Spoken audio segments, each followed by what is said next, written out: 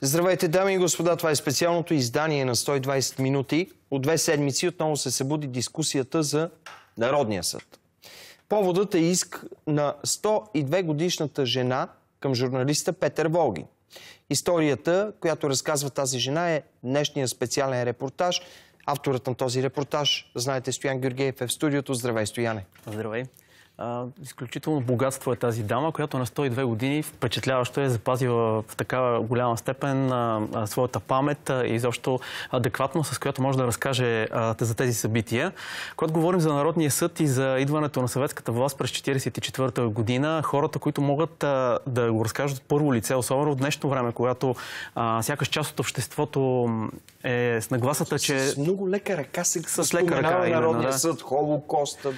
Тогава са избити преди Народния съд 21 000 българи без съд и присъда. Това е изчистване на интелигенцията на България. Но какво е една статистика и 21 000, когато можеш да разкажеш и да имаш разказа на един единствен конкретен човек?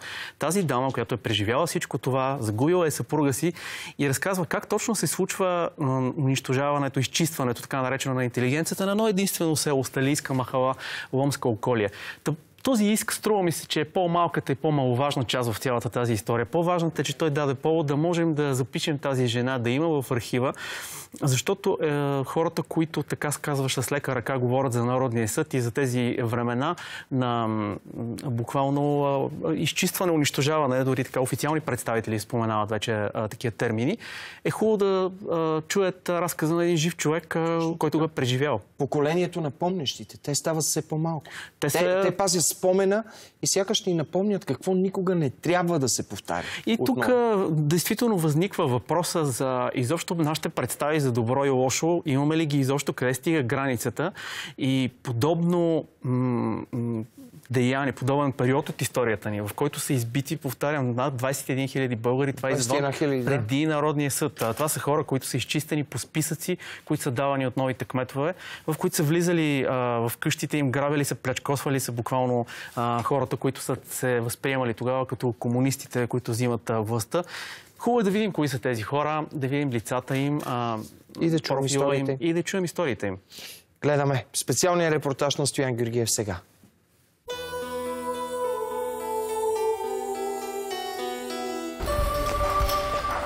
102 годишната Ценка Горанова от ломското село Сталийска махала се омъжва за своя избраник Георги през 1940 година. Георги е директор на гимназията в най-голямото село в Ломска околия. Бил сред най-харесваните момчета в селото. Избрал Ценка, защото била отличничка по математика. Математичка бех на времето и моето такова са шестици по математика, а другите двойкар. Тия къде го искат, двойкар. И аз няма да вземам тия, защото ще ме бъде срам, че ми рода деца. Георги Горанов си търсил умна жена, за да създадат интелигентни деца.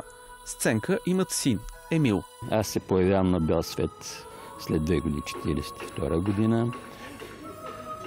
Почти имам само някакъв смътен спомен от баща ми на 24 май, когато съм бил на две годинки. Някакъв спомен, дали си го съчиная или не, и повече за него нищо не зная. На 15 октомври 1944 когато съветската армия вече е поела контрол над България, директорът на гимназията Георги Горанов е извикан в кметството на Сталийска махала и изчезва безследно за винаги. Просто са прибрали цялата интелигенция на селото. Само образованите хора. Еми учители, бирник, кръчмар, търговец, е, такива хора заможни. Няма никакви причини. Просто това си е било по заповед на ЦК и на съгласувано с Сталин да правят чистка веднага след 9 септември. Преди Народния съд. След 9 септември 1944, още преди Народния съд, е вход масово унищожение на интелигенцията в цяла България. 21 хиляди колко души са загинали, така като на моя баща, ако не знаете това нещо. Имаме ги по списъци извадени. Това са 21 хиляди души ликвидирани, избити без съд и без присъда. По този начин. Отделно Народния съд. Това се ликвидира едно позорно минало. Слага се преграда на всички тамни замисли против народа. Ликвидиране на, на нацията, на интелигенцията на нацията. Аз след това станах заместник-председател на Съюз Истина. В село Сталийска махала убитите са общо 12 души, всички безследно изчезнали. Пет души учители, един е търговец. Ценка си спомня как жена влязла в дома им и казала, че са длъжни да й дадат пари. Тя каза, жено, ти, ти ги спиеш, па немаш, а я имам, що работим. И си дошъл на тава, на тата не даваше да държиме пари, гардероб и оскриме на тава. Тези, чието роднини са убити, страдат най-много от набези, защото вече били врагове на народа. Но и на тава на сакачията. Ни бра, котлите, всичко. Кои те? Комунистите, кога правия обиск, Макар какво имаше, даже тази ютека, съм си гладила едно време дрехите с, с, с тия ютини с кюмур, с такова и не я намерили нощта. И аз спим у кухнята, а ние у къща си работили. Плечкосването на вещи от новата власт наричали обиски. Видят и затворят вратата и дират и какво дират, никой нищо ти не казва. Какво взеха? Пък каквото взели, какво са намерили, бакър, нали ти казвам, котли и такова, голем един котел и на тавана се окачали едно кота и бех толчила, се окапаше на циглите. В тази обстановка Ценка останала сама да гледа две годишния си син Емил. И като види, че хора тръгнат на училище близо до нас и се вика, тати Гошо, тати Гошо, иде ли тати Гошо? Мъка, мизерия, да не знаеш къде е. Тати Гошо никога повече не се връща. Освен, че са убили баща му, съветската власт у нас продължава турмоза и срещу Емил. Родовото репресиране на деца, които даже не познават убитите си родители, остава практика на комунистическата власт. А целият живот на Емил е посветен в търсене на истината за смъртта на баща му. Аз вече порасна голям. Започнах да подпитвам от тук там. Алиска Махлак Мет през това време наш съсед, Асен Павлов се казва. Той е дал списъка. Те са искали так списъци от селата. Някои кметове отказвали да съдействат в избиването на хора, но други, като кмета на Сталийска махала, се старали и били инициативни. Те са получили указания от Георги Димитров и от Сталин да съберат всичко това и да унищожат елита. По този начин. Този същия Сен Павлов, след това той си получава свише провидението. Синът на кмета умира млад в психиатрична клиника. Съпругата му също си отива млада. Той остава сам. Някакъв блок в София на 8 етаж и е умрал като конопетък на мизери сам там горе на този етаж. Съдбата си изигра. Аз много вярвам в тези неща, че горе си има проведение за всички. Тия пристади бъдат назидание на всички, които биха помисли да продължават до германската фашистска политика. Днес 102 годишната Ценка Горанова съди водещия в Държавното радио Петър Волгин заради публичната му подкрепа за така наречения Народен съд. Причинил трагедии и страдания на стотици хиляди българи и унищожил най-образованата част от нацията. Какво мислиш? Да ти вземат човека жив и здрав изучен учител? прогимназиален учител. Мъчно ми е да немаш при другар, с когото споделиш една дума. Мъчно ми е. На 20 години съм се оженала, на 23 години съм била останала вдовица. Инициатор на процеса срещу водещия на Националното радио е сина на Ценка. Този човек най-малкото, да, даже да, да, да е убеден в тези неща, няма право. Това е разпалване на, на, на, на, на омраза, ако щете, на, на допълнително разра... ровене на старите неща. Как се върши това? Как е?